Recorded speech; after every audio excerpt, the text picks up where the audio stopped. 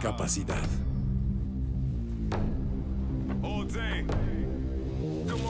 Algunos corremos rápido, otros creamos, muchos más soñamos. Capacidades que inspiran, que mueven, que nos muestran caminos donde no creíamos que los hubiera.